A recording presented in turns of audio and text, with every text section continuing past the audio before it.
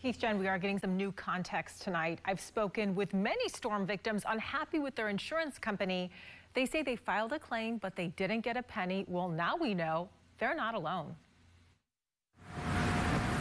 Hurricane Ian packed 150 mile per hour winds and 15 foot tidal surges. It rocked Florida's already fragile property insurance market. Now, months later, the state's top insurance chief, Commissioner Michael Yaworsky, releasing new claims data online. It shows insurance companies have closed a majority of claims, nearly 86%. From that batch, three out of 10 claims, or nearly 200,000 claims, have been closed without payment. Translation Floridians didn't get a cent.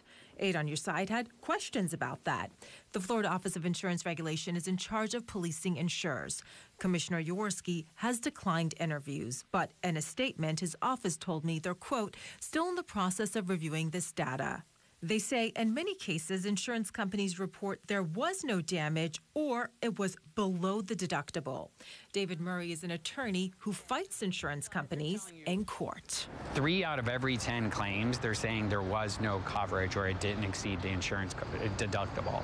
Um, I don't believe that's true. That's not what we're seeing. What can these tens of thousands of people do now? They have the right to reopen their claim or to make supplemental claims. Not so fast. Might be a waste of your time, says longtime insurance broker Ron Assisi. Uh, the storm surge was um, was astronomical. A standard homeowner's policy covers wind damage or water coming from the ceiling down.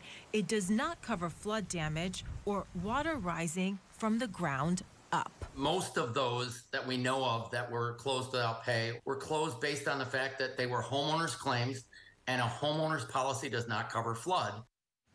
So if you do want to reopen a claim, you should do that sooner rather than later. That attorney tells me there is a time limit here. Meantime, if you're not happy with your insurance company, make sure that you file a complaint with the state. Commissioner Yaworsky's office tells me when they're evaluating these insurance companies, they do look at claims data along with what they call complaint data. So you should be heard if you're not happy.